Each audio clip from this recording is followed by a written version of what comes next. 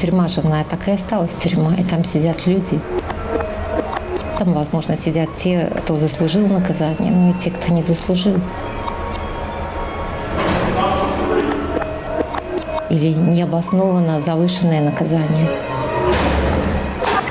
И заключенные, и политические заключенные там тоже сидят сейчас. Выбор 2020 года.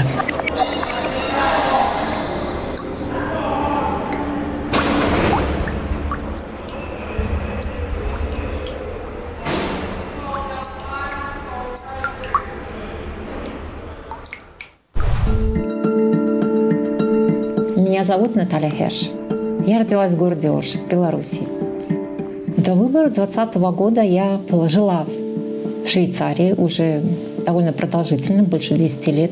Я интересовалась всегда политикой, особенно вот когда начались эти встречи с людьми, какие массы людей собирали. Встреча с Тихановской, Цепкала и Бабарика лагеря. Это, конечно, очень вдохновляло и давало очень большую надежду, что что-то будет уже по-другому. Именно эти выборы 2020 года я себе поставила целью.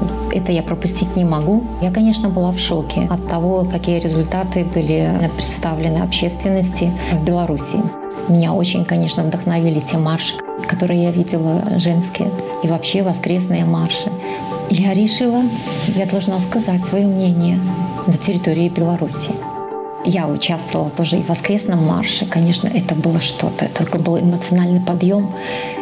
Это столько радости было, столько, столько надежды у, каждого участвующего. Это очень эмоционально было. Я, как сейчас помню, мы ехали в трамвае, трамвай был полон людьми. И в общем, там такие веселые были э, выкрики, и весь, весь трамвай отзывался. Я еще помню, как мы спрашивали друг, друг у друга, как ты думаешь, ведь не будет уже так, как раньше. Как ты думаешь? И мы друг друга поддерживали, говорили, конечно, это не может быть все, ну все, конец, все, больше, дальше будет по-другому. Ну, действительно, по-другому так, как раньше быть не может. Это был, так сказать, роковой день, который изменил мою жизнь. Мы шли колонной от универсама Рига в направлении к Якубу Колосу. К нам подбежал один из байкеров и сказал, там одного его друга задержали. Его держал, значит, один из ОМОНовцев, наверное. И мы обступили его вокруг, начали кричать, визжать. Боже мой, я никогда так не кричала, а здесь все вместе, и я делаю это тоже. И этот человек через несколько минут отпустил этого мужчину. Приблизительно в том же моменте случилось наше задержание. Впереди у нас стояли, значит, цепочка ОМОНовцев. И мне как-то было странно. Мы стоим, ждем. Чего ждем? Ждем, когда нас посадят в автозак. Я говорю, давайте попробуем вместе, рванем через эту цепочку ОМОНовцев, и наверняка кто-то из нас спасется. Но, к сожалению, это мое предложение не нашло поддержки, и мне пришлось предпринять попытку побега единолично. Тогда я повернулась к ОМОНовцу и потянула за маску. Он, согнув ноги, отойдя пару шагов, согнувшись э, значит, в спине, он эту маску одел Э, себе на шею. Я думаю, что э, их учат этому. Когда мне сообщили вообще, что на меня открывается уголовное дело, следователь, и это касается нанесения телесных повреждений сотруднику милиции, я была возмущена. Это все было по сценарию, все было ясно заранее. Прокурор знал, какой срок мне озвучить, и судья знал, э, какой срок утвердить. Я, конечно, ждала, что апелляционный суд еще будет, и то, возможно, он пересмотрит, хотя бы снизит что-то. Но, к сожалению, он оставил приговор без изменения. Меня это тоже шокировало. Я в тот же день написала заявление о том, что теперь я просто чувствую себя обязанной бороться с этой ложью и фальсификацией, которая происходит в любом месте, где я нахожусь. И это я делала в каждом месте, где, где я находилась, начиная с э, Володарки, Минск, Гомель, Могилев. Я писала я говорила и заявляла о всей, всей той несправедливости, которая существует в этих местах. Да. was soll ich jetzt sagen? Ähm, also über die Natalia Herrsche. Also ich kenne die Natalia Herrsche schon eine ganze Zeit, eigentlich ein paar Jahre. Dann haben wir uns aus den Augen verloren und dann habe ich über die Medien erfahren, dass sie in Gefangenschaft gekommen ist in Weißrussland. Genau, in Minsk wurde sie verhaftet. Das weiß ich über die Natalia Herrsche. Ähm, ich muss ganz ehrlich sagen, ich finde, es ist eine sehr mutige Frau und dass sie diesen Schritt gemacht hat ähm, und demonstriert hat. Und ich weiß, dass es schon immer ihr Anliegen war, um ähm, Gerechtigkeit zu kämpfen. Das kann ich über Natalia sagen. Wir kennen uns aus dem Fitnessstudio und ähm, ja, und ich muss, ich muss sagen, sie ist sehr, sehr mutig. Мне шизо не избежать. Не шить форму влечет за собой шизо. И это самое страшное наказание осужденный не шить форму. Шизо – это узкая комната, полтора метра шириной и метра четыре длиной. С одной стороны две нары по бокам, умывальник, туалет-тырка, окно. Посередине стоят две зацементированные тумбы, на которых опускаются кровать. Это нара. Матрас, подушка, одеяло – это ничего не положено. Тебе положены только туалетная бумага, зубная паста и полотенце кухонное.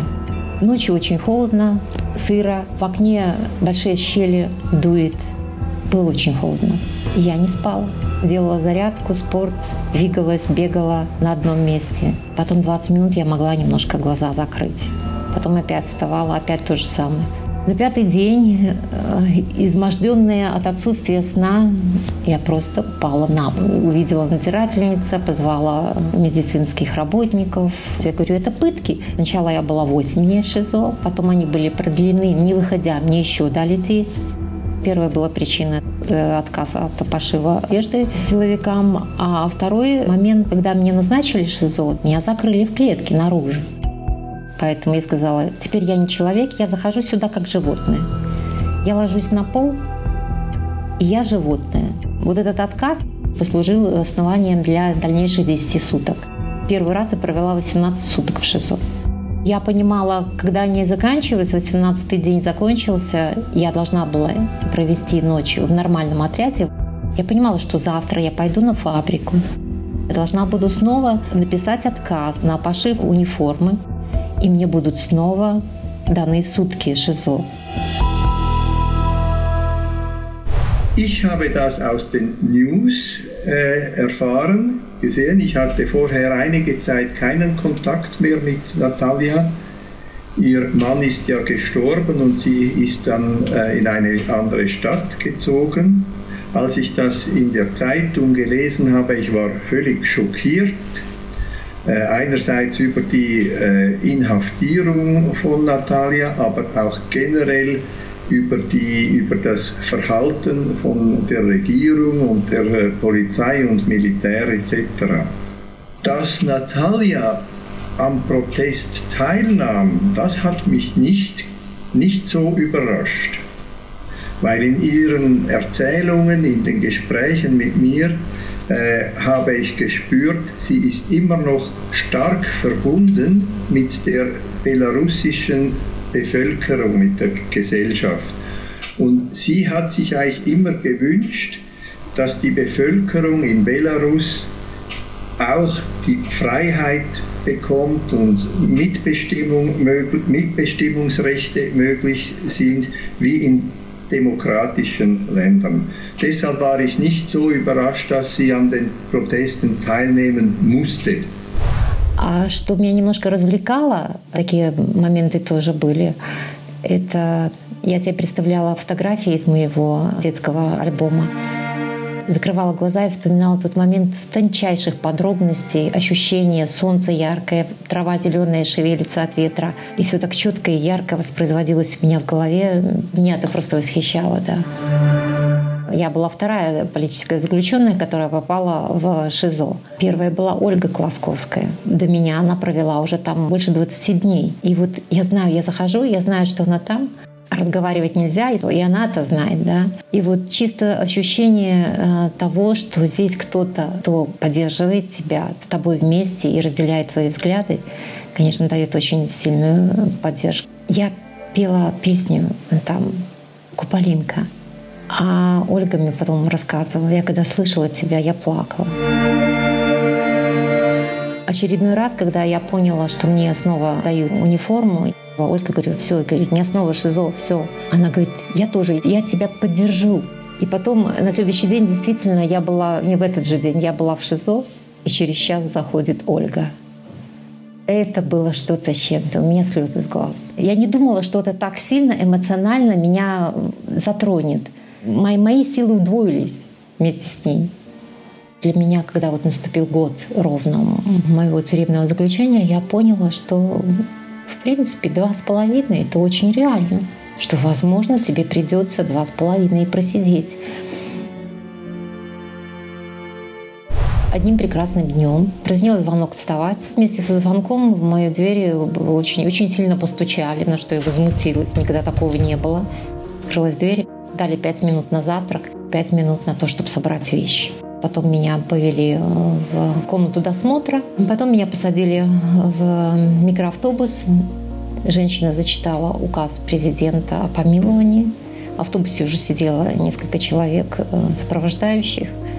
И мы тронулись в направление аэропорта. Мы подъехали эм, в ходу VIP-персон. Здесь я уже мешки не несла. Я шла в телогрейке, в робе. Нет, потом мне дали, конечно, переодеться. Мы встретились с братом. Это было очень эмоционально, очень-очень эмоционально. Обои плакали. Первый раз я выпила там чая. Вот, вот это интересно. Прямо э, с тюрьмы в VIP, в VIP э, апартаменты попасть, и тебя обслуживают, прислуживают, приносят чай с конфетами. Такая разница, конечно, была ошеломляющая. Но я радовалась, конечно, свободе. Мне предлагали написать помилование раза 3-4. Это был начальник колонии, в принципе, у которого я спрашивала, что собой представляет помилование. И когда он мне объяснил, что я должна полностью признать свою вину, то мне, конечно, было ясно, до свидания, я писать не буду. А что касательно моей адаптации, конечно, я в первую очередь вот мелочи замечала. Да? Для меня было что-то сверхъестественным получить хороший завтрак, теплая вода каждый день. Швейцарцы, которые знают мою историю, очень сопереживали. И я чувствую, что они выражают мне свое восхищение. Швейцарцы вообще не могут себе представить, что с тобой представляет тюрьма такого рода, какая существует в Беларуси. Это надо рассказывать европейцам о том, что происходит в Беларуси, чтобы они знали э, нашу оценку. И таким, таким методом, я думаю, можно очень хорошо влиять на ситуацию. Ja, ich wünsche dem Bürger, dass sie, ähm, dass sie endlich mal in Frieden und in Freiheit leben können und nicht gleich immer gefangen genommen werden. Das finde ich ganz, ganz schlimm. Und dass sie vielleicht eine Demokratie bekommen. Das, das wünsche ich mir. Meine Wünsche für das belarussische Volk. Also ich hoffe, dass das belarussische Volk den richtigen Zeitpunkt für erneute Proteste und Aktionen erkennt und auch wahrnimmt. Und ich hoffe und ich wünsche es der belarussischen Bevölkerung, dass sie dann erfolgreich ihre Ziele einen Wandel zu mehr Freiheit und Demokratie erreichen können. Мне спросили, вы поедете еще в Беларусь? Я говорю, ну, конечно, поеду, это же моя страна. Я не знаю, когда, но когда-нибудь поеду, может, через три месяца. Я не могу сказать, когда. Ну, а потом уже немножко адаптировалась и начала принимать участие в демонстрациях. И опять же, то, что случилось ужасное через неделю, да, это оккупация, так сказать, военные действия против Украины. Мои высказывания и интервью я давала очень много тоже. Я, конечно, понимаю, что если я туда поеду, то я снова буду тоже в тюрьме. То есть это, конечно, не очень хочется, и смысла этого нет сейчас. Планы на будущее.